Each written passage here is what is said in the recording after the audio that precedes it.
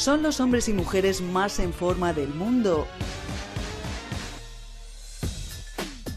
Y Rita es la madrileña más en forma de España. Lo hago porque me gusta, disfruto entrenando, me gusta superarme cada día. Yo no gano dinero compitiendo ni nada, de hecho yo tengo que pagar para poder competir y me tengo que pagar los viajes y todo.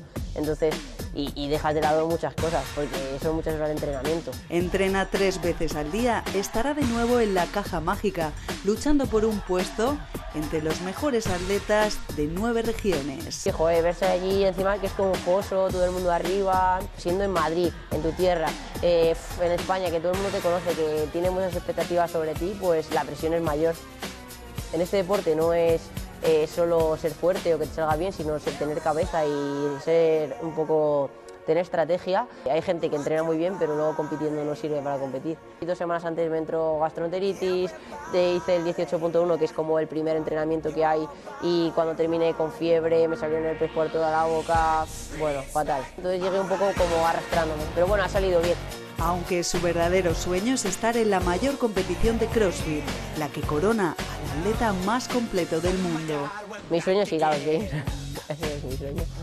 Si lo consigo, pues, pues ya podré entrenar a gusto. Y ahora estoy más cerca que nunca, yo creo.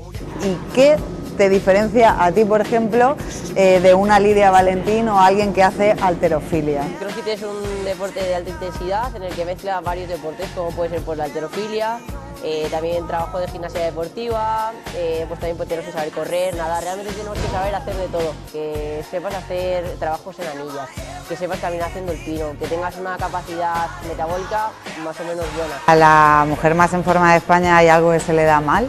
Sí, sí. ¿Ah, sí? Venga, a ver, confiesa. Sí, sí, sí. Por ejemplo, para mí los movimientos por encima de la cabeza no, no son buenos.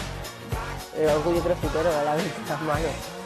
Es de, pues bueno, de trabajar con la barra, de estar colgado.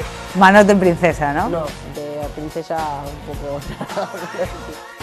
Eh, ¿Cuál es tu mejor ejercicio? pues los muscle up, muscle up estrictos, muscle up con keeping. Pero Para los que no tenemos ni idea, ¿qué es eso de un muscle up? puedes subir a las anillas hasta arriba. Ah, dicho así parece facilísimo, pero me, me da que no, ¿no? No, fácil no es.